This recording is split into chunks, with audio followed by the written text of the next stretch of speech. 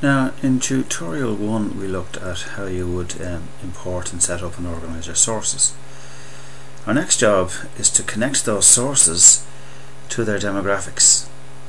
And to do that we have to do um, we have to work with a concept called case nodes which in previous versions of NVivo there was a prescribed folder for called case nodes. Now there isn't. Um, it's on the one hand gives us more freedom but now we have to understand the concept. So to demonstrate the concept what we're going to do first of all is take our pupils and select them all. So control A to select all or edit select all. And then we're going to right click on the selected sources and we're going to code those or create those sources as nodes and we're going to set up a people folder just like we did for the pupils and teachers in the first tutorial just simply make a new folder for people and we code. Now we can already assign this to a classification set or set of demographics if we have them but we don't have them yet so we just apply those to the people. So basically each of these transcripts is now going to be coded in its entirety to a node.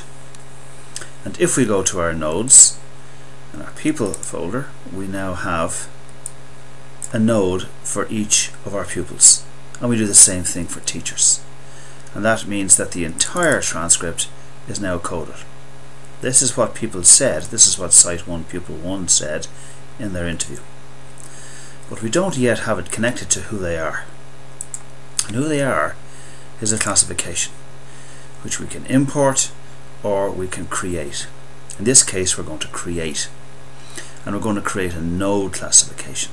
We can make source classifications. This will be for example if you're going to do your lit review uh, in, in NVivo or connect with EndNote you might put things like author's name, publication date etc. But for nodes this is about people so we make a new classification and we'll select the standard person one although we could make our own which already has certain fields or values already assigned to it. And of course we can add in new one if we want to customize that by putting in for example year in school. So we can quite easily add our own attributes and give them the values fifth class. We can add another one sixth class for example if we now go back to our nodes and we can now maybe we should select all of these.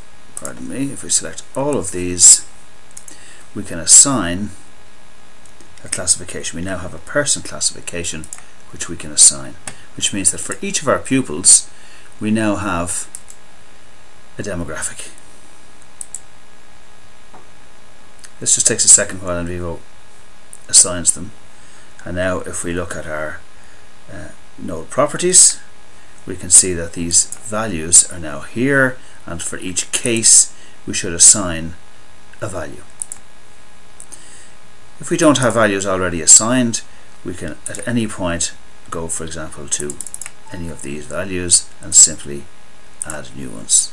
So this is gender, male and female.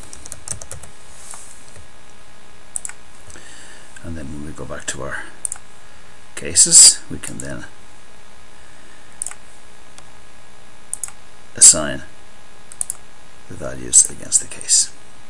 So effectively, Site 1 Pupil 1's case node or people node or person node contains everything he said and this the properties of the node contain who he is and this allows us to fully integrate both quantitative and qualitative data for the purpose of driving queries and asking very sophisticated questions later on of the data. So when we have data coded we can get an instance analysis in any of the intangibles such as attitudes and beliefs that we have coded against a theme. We can then get an age group and a, a gender and a country definition against the group of people who we selected to be coded in that node. This makes for very sophisticated layers of analysis which we look at later on in the next tutorial when we talk about coding.